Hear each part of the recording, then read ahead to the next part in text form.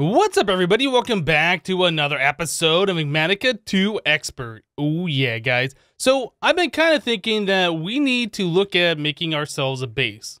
And I've been flying around looking at the different areas around and what I wanted to do and things like that. And honestly, right here where we've been setting up, I think is what we're going to end up uh, keeping as our main base. I think this is right around where we spawn to begin with.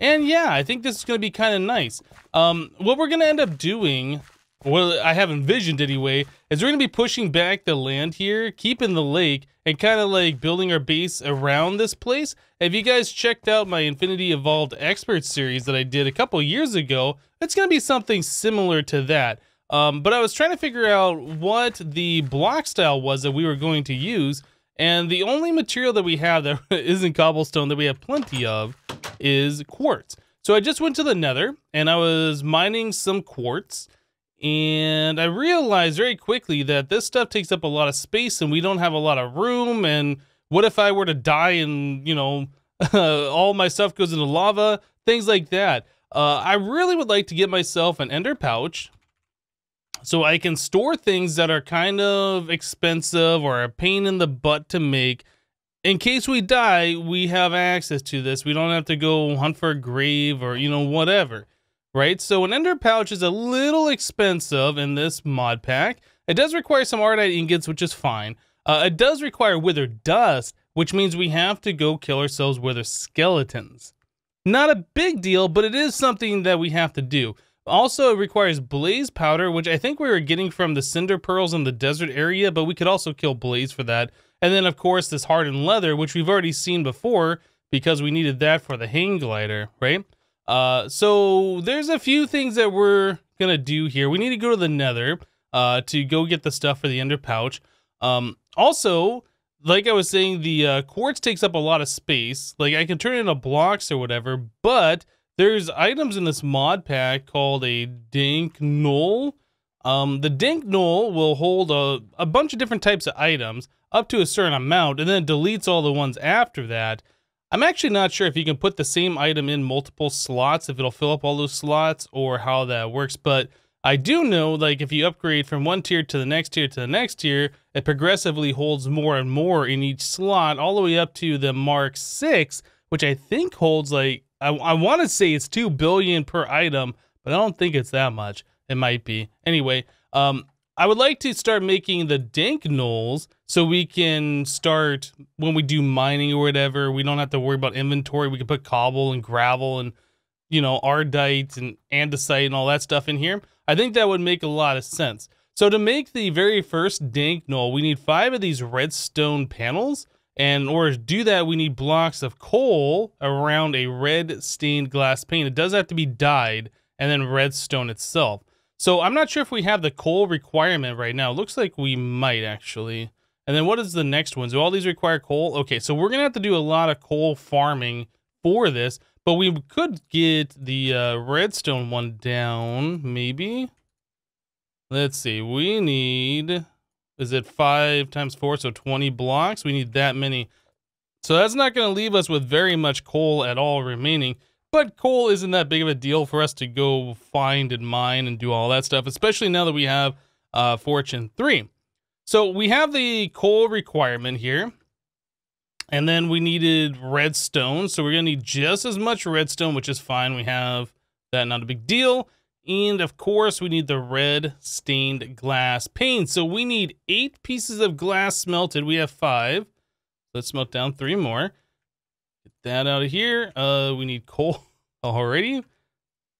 Uh, let's do these, the little coal pieces. Okay, so we got coal smelting down the last of our glass. Now we need red, some kind of red dye. Do we have any of the poppies in here? I'm looking, they're right there, found one. Okay, so that should be all that we need. Once these pieces of glass are smelted down, we can turn it into the eight stained glass, right? It is eight around one die that does it.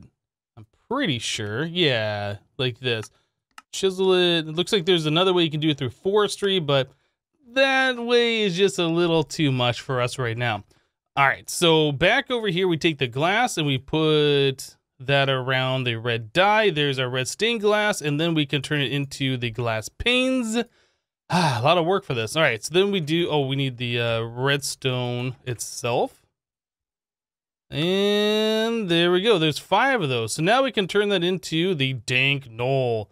So the next tier, you can do the same thing, or it looks like you can craft them up directly. Actually, I didn't even realize that. Uh, oh, I should have just done this, huh? Normally with these things, you have to do this recipe. Um, yeah, I didn't realize that there were these other ones. Okay, well, that's fine. We started off with the base tier Dank Null.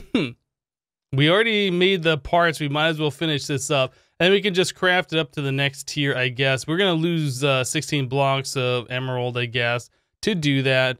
But it's not a big deal. Uh, had I realized that, we would have just made the biggest one that we can right now. It's fine. So let's look at the Dank Null.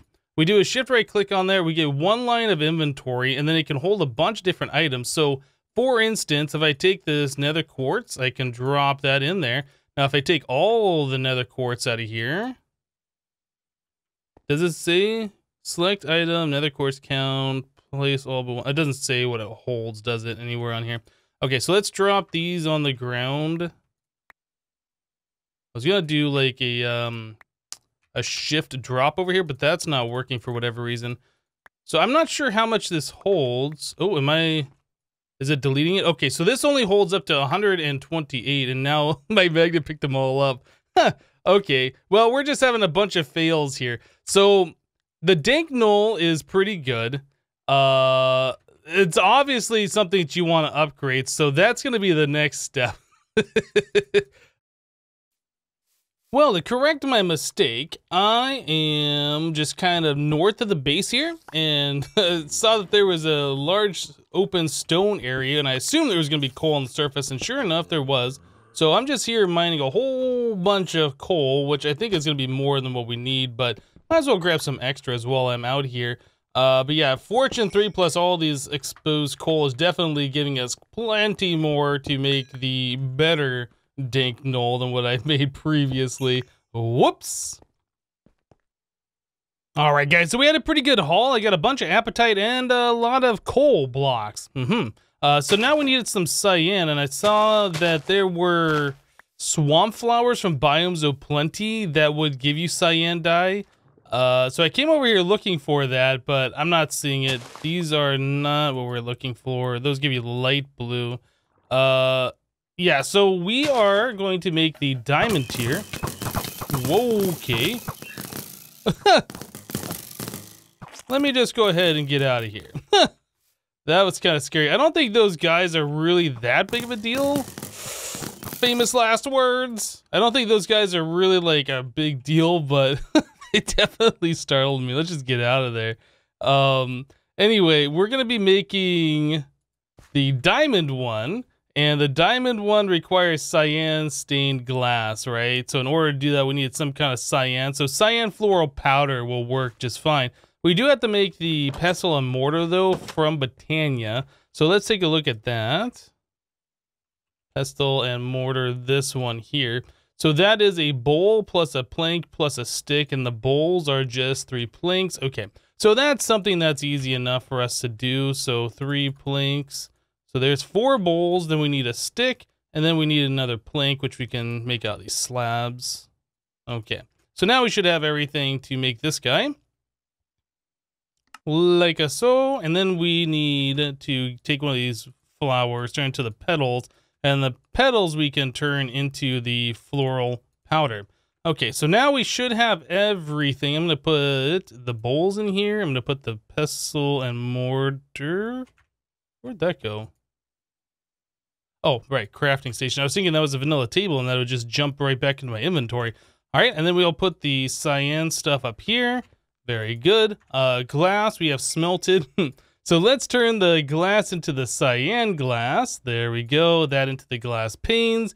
And finally, we are going to make five of these. Uh, otherwise, if we were going to make the uh, the dank null here, we would have to get all the way up to the gold tier one, which we might do eventually. I don't know. We're just going to make this directly and make this guy. So there's a Dank Null Mark five. And if we want to upgrade that later, we will just make four of the emerald ones. We could have gone over to the village and traded for those emeralds, but honestly, I think that's more than what we need at this point in time. So yeah, the uh, the bottom tier Dank Null, not so great, but we can upgrade it. So we now have this Dank Null, which has a lot more slots, and each slot holds a lot more items, which I think is going to be a lot better. So again, we can take like our quartz here, for instance, and just drop it into here.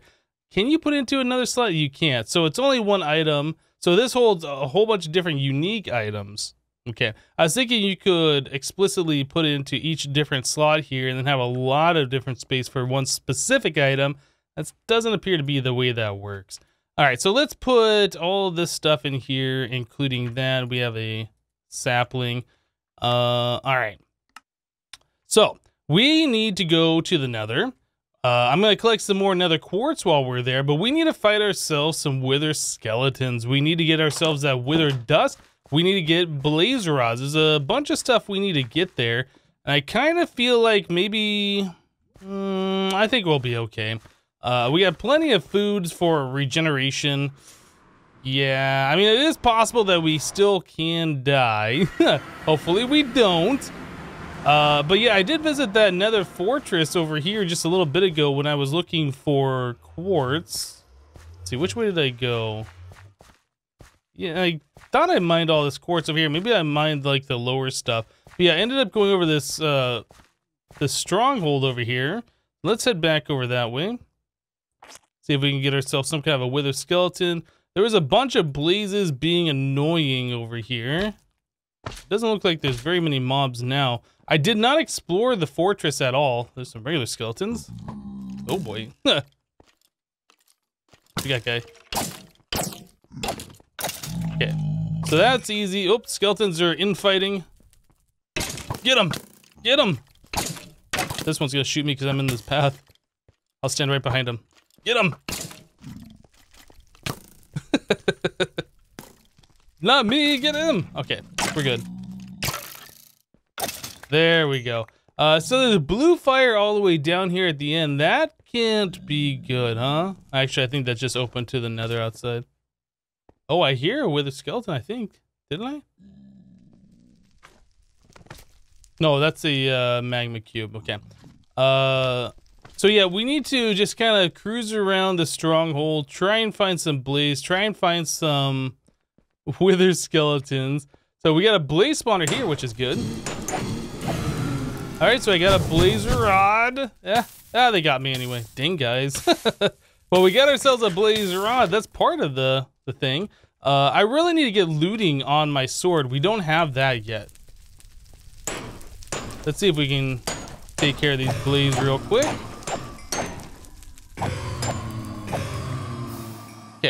So we should have a few blaze rods now. We have four of them. I think that's more than enough. I don't really want to farm those guys until we get looting. Um, but yeah, we have enough for what we need. Ooh, let's grab some glowstone while we're here. Okay. Ah, hey guy. You gonna drop me a wither dust?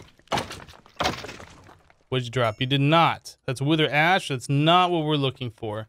Okay, well, we're gonna have to keep farming these guys. It probably would be a smart idea, actually, for us to go back and put looting on our sword. So when we do attack these guys, they can have a higher chance of dropping something or more of something. Okay, let's go back to the base. Let's do that. So I went and I put luck on our sword here. We had enough for looting 2. We were about 20 lapis shy of looting 3, so I decided just to go with looting 2. Um, but yeah, we're back in the nether here, and I found some chests. This one's got a climbing glove on it, which is already turned on. You can right-click it in your inventory, turn it on and off. Uh, infinity bimetal gear, that's good. More bat wings, some copper, and then this lava charm, which I think gives you immunity to lava. I'm not entirely sure if that is the case. I can't stick it anywhere. Uh, we have this ring of mana, which isn't really doing anything. Maybe we'll put it here instead. I, I think that gives you immunity to lava. I'm not entirely sure. Maybe it's just kind of like a fire resistance. I'm not seeing anything here. I guess we'll find out if a blaze shoots at us if we get caught on fire or not. Speaking of, is there one right here? Ooh, there's one back here. Oh yeah, so the climbing glove lets you walk like a spider or act like a spider. so yeah, we can kind of just hang up in this corner if we wanted to. So I'm gonna let him shoot me. I'm gonna let that blaze shoot me. Does that set me on fire? It does. Okay, so I'm not exactly sure what the lava charm does. Maybe it's just immunity to straight up lava. Yeah, I don't, I don't know. But yeah, we got nether quartz now. This is the thing we didn't have before, so that's pretty good. A little bit of that action. Uh, we got three blaze rods off that one blaze, which is also pretty good. But I'm not seeing any wither skeletons on the map. Oop, here's another chest. What do we got here? Nuclear craft stuff. Steadfast drone. Uh, simple hungry capacitor dud. So that that rune itself, or I'm sorry, the uh, capacitor is pretty garbage. I'm just going to throw that away. Just get rid of it. Okay. Uh, yeah, the climbing gloves, those are kind of nice. Um, instead of using like the slime sling to get up to higher places, you can just kind of climb up yourself, which can be uh, it can be annoying, but it also can be pretty good as well. So I guess it just depends on your play style and where you are. I think for the nether, it's really good for most situations, though. I'm probably going to turn it off. So heart container not eaten. What does it taste like? I don't know. Let's find out. What does that taste like? Nom nom nom nom nom nom nom. It tastes like an extra heart. Or two. They gave us two hearts, it looks like. That's kind of cool. Uh, so we get an emerald apple. Unlock blocked villager trades with red X or cures zombie villagers. That's kind of nice. I didn't know that was even a thing. Uh, all right. So now we're at the point where I want to carry more stuff. We don't have room. So I guess we can throw things into the Dank Null for now, even though like we're not going to be stacking things. It does work as a way to like hold multiple items. This will just throw all this stuff in there for now. And let's break this guy and grab all these items out of here. Awesome. All right, so I'm hearing skeletons. I see some wither skeletons on the mini map, but I don't think we have access to them right now. Uh, maybe we'll poke out here. Do I see them out here? I don't see them. Are we flying? Wait, what? Oh, we have an air charm. Walk on air, sneak to descend. I was like, are we flying? This doesn't seem normal. okay, so I don't want that on. That's pretty cool. I didn't realize we got one of those. Definitely confused me for a second. Uh, oh man, there is so many of those bats out here. All right, let's get rid of the skeleton. You're done. I was kind of hoping that we'd be able to go outside and find the wither skeletons out here, but I'm not seeing them, so it's probably best to stick in the fortress until we find them. Aha. There's one. Oh, stay back. Stay back. Okay, what'd you drop? Not what we're looking for, but I think the wither bone, I think those can turn into the powder. Yeah, two of those turn into wither dust. All right. So there's another one over here. Let's grab this guy. Maybe he'll drop multiple. Maybe our looting will take effect here. What we got? Ah, we got another one. So yes, we can get Wither Dust this way. We also got Drop of Evil, which is nice. That will allow us to be able to do Cursed Earth. Okay, so we have pretty much what we need at this point in order to make ourselves an Ender Pouch, which I really would like to do so I can put our Dank Null in it when we go into situations like what we're in right now, or at least just for extra storage. Uh, but yeah, definitely so I don't lose things if I were to die here in the nether. All right, let's get out of here. And I'm out. All right, guys, so it just so happens that there's a compressed Enderman underground here, and we need Ender Pearls in order to continue on. Yeah, there appears to be two Endermen underground here. Uh, we're going to dig down, which is something you should not do in Minecraft, but it's fine. I I know what I'm doing. I, I know what I'm doing. It's fine. Uh... Is this our compressed one? Yeah, okay, so the compressed Endermen turn into like nine of them, I think. We're just gonna try and kill these guys normally. I don't think the anti-cheese thing is on from Quark. Oop, and he's gone. Let's see what happens if I poke this one. And that one's gone too. Are they going to come back here to me? Oh, I think they might. Maybe. Why did they just teleport away? And where are they now? I don't know. Oh my goodness. Uh, Enderman. I can see the compressed one is around, but I think, oh, you know what? Probably because they were exposed to daylight up there. Dang. So I probably just lost out on both of them. Let's see if we can find them. There's one over here still. Maybe I can poke it before it teleports away, and it's gone. Get him. Where'd he go? I don't know where he went. Right there. Oh, oh, we did it. Okay. We got two pearls, but we lost the compressed Enderman. No. Well, you know, I guess it's fine. We ended up getting the pearl that we needed. well, we got more than the pearl that we needed. Uh, yeah, so where's the base? Over this way? All right. Well, we got that, so we should be able to make ourselves the ender pouch that we've been questing for this entire time. Let's go get that done now. I should have all the materials together at this point in order for us to make this thing. I think it was this chest. Yeah, everything's in here. Okay, so now if we come in here, we should be able to do this and that, and there we go. There's our ender pouch. We did it! Quest complete. So now I can put things like our dank null in here, our sleeping bag, our mattock, things that we aren't using all the time. Yeah, that, you know, if we were to die, I don't want those to go bye-bye. I want to actually have those. Um, I did go back to the nether just a little bit ago, and I was trying to find some nethermans, but yeah, I was unsuccessful. They're very rare in the nether. I guess they're kind of rare in the overworld as well, but you can find them in the nether, and I was hoping that since it was daytime, I'd be able to do that I was heading over to the desert area before it turned nighttime here to set up so we could try and kill some Nethermen at night or Endermen at night. But yeah, we didn't have to do that. Fortunately, we found them in the cave down below, which was very, very awesome. Uh, where did these V crystals go? I guess we'll stick them in here. Okay. Oh yeah, I did get a wither skeleton skull as well off a uh, wither skeleton as I was kind of exploring around a second nether fortress. Um, so we have the ender pouch. It might even be a good idea to make the ender chest to go along with that. So if we do die and we lose our ender pouch, we can still access the items from the ender chest here in the base. But that does require an ender chest, which requires an eye of ender and another pearl. So we don't actually have enough stuff to do that since we only have one ender pearl. So I guess we're just going to hold off on that. Uh, okay, so ender pouch made. That definitely makes me feel a lot better going to places like the nether or any place where I feel like we could potentially die. Yeah, very good. I just ate one more of these uh, plowman lunches here, these guys.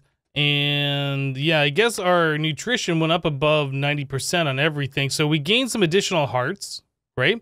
And we have resistance 2, which is pretty good. So yeah, we have maximum amount of hearts. I don't think you're going to get anything else by having these all the way up to 100, but every time we eat this food, it gives us a 5.4% to all of the different stats. So next time we eat, it should put everything at 100%, but again, I don't think you get anything for being at 100. It's just over 90% on everything. Uh, so what I wanted to do now is to upgrade our tool station. Yes, if we upgrade our tool station to a tool forge, we can start making uh, tools that are better. So that is definitely a thing that I'd like to do. I would like to get ourselves an excavator and a hammer so when we clear out stuff for the base, it'll go that much faster. Now, I believe you can use pretty much any type of blocks you want, but really we are going to need uh, four blocks of iron. I think we have enough here for that. Yeah, so that leaves us with seven additional iron ingots. Is not very good. Uh, let's grab this thing and let's take a look at the tool forge recipe.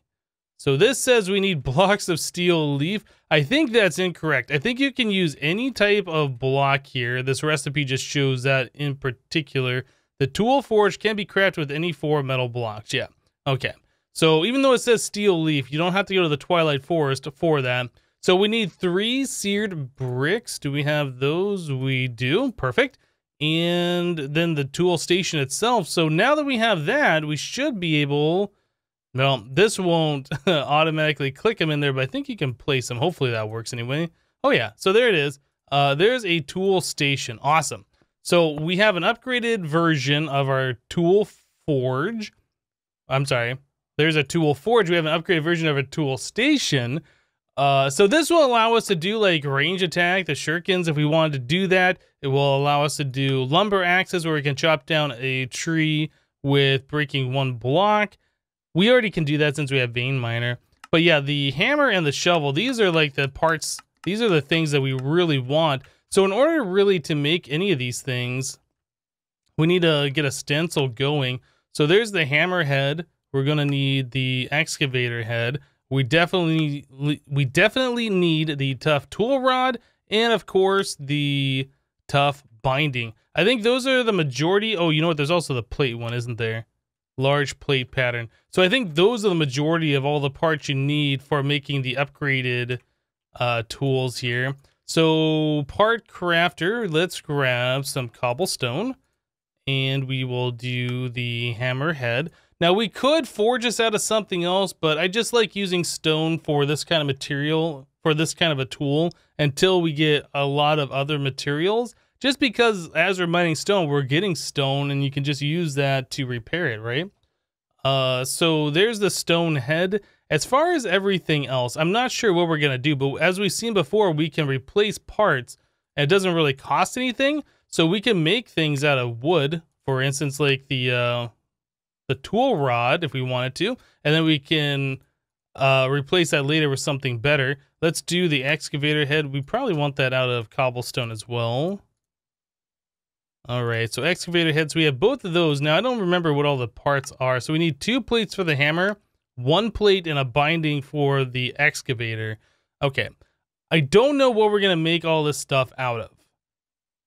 I don't know. I kind of just wanted to get it going and then we can uh, make it better later. Yeah, so it's going to be, these tools are going to be really garbage tier at this point, but we will get them working. I think we need one more plate for the excavator. Okay, so let's do the hammer. We'll, oh, oh, okay. I tried double clicking those in there and like the game froze. I thought I had locked it up. All right, so there is a stone hammer, very, very garbage tier. And here is a stone excavator. Again, garbage tier. We only have 230 durability on it. Yeah, that's not good at all. Uh, we definitely want uh, more modifiers on there. We want to get better parts. But for right now, this is going to get us by. And that's all that I really care about at this point in time. Uh, so yeah, I will be able to start digging out some of the area here. Like I said, I want to push this back a little bit and kind of dig into the mountain. And we're going to wrap around. And I don't know if we're going to go beyond like where the, the ground is over here, how we're going to do this. This will be something that I figure out, but we definitely need more space. Yeah, we're going to be making a whole bunch of machines going forward. If we look at the quest book, and we look at, well, I guess we can pretty much go in order. Like industrial craft is a thing that we're going to have to do, and there is a lot of stuff with industrial craft. Uh, I don't know if it's going to have us do all of this before we move on or whatever, but there is a lot of machines and a lot of setup, like especially if we're going to be doing nuclear reactors and stuff like that. Yeah. Uh, so if we look at gates, uh, where is IC2? So IC2 is right here. We need IC2 in order to unlock industrial foregoing, pipes, and nuclear craft. So yeah, these are definitely things that we have to do. Again, I don't know what's all required per each one of these sections, if we have to do everything, or if it's just optional to do some of the things. But yeah, we definitely need all that space. So that's something I'm going to be working on off camera going forward. But definitely having the um, the hammer, if nothing else, will allow us to mine the, our different levels here in the branch mine that much easier can do a three by three area instead of just the one by one. Expose a lot more block per mine or uh, per mining operation. Yeah, and just be able to get through resources a lot quicker. And I think that's going to be really good overall. But anyway, guys, we're going to go ahead and wrap the episode up here for today. We finally got ourselves an ender pouch. We can put away our more expensive items. We got ourselves a tool forge so we can get ourselves way better tools. But anyway, that's it for today. Thank you guys for watching. Remember to leave a like on the episode if you liked it, and we'll see you next time. Thanks for watching, guys. Bye-bye.